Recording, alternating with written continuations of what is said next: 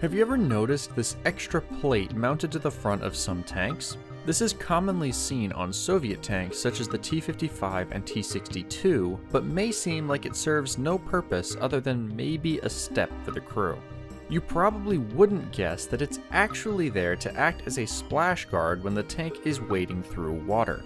If it weren't for this, the water would flow straight up the front plate and dump into the driver's hatch, leading to both water inside your tank and likely a very upset driver. This obviously would only work for relatively shallow water crossings, and anything deeper would require the hatches to be sealed and possibly wading equipment to be fitted.